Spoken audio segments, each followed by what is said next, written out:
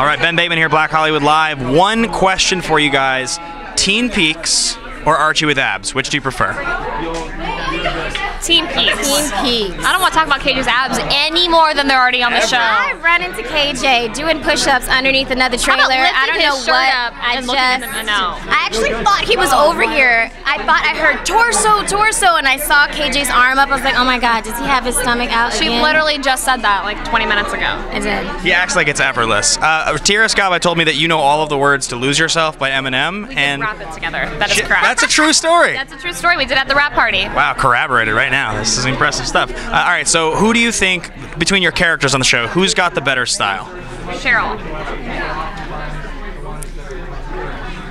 Oh, she's thinking about it. So that means that you're not 100% confident that you've got the best style, so obviously it's Cheryl. Well, it's not that I'm not 100% confident. It's that I know that Josie has style. It's just that she hasn't been on the show enough to show everything else in her wardrobe, which is slayage. So that's why I hesitate. But your pins are on point. I can't come I just the think pins my and like it's just like it's it's a lot accessories, like it's but it's extra, specific. but it's specific. that's specific. I've been uh, really hoping that we're going to see some more Trevor Stines. I know it would have to be some supernatural storyline, but I love to see Trevor. Is it? What do you guys think? Are we going to see more Trevor Stines in season two? I'm not going on the lake. Um, I'm not looking for him.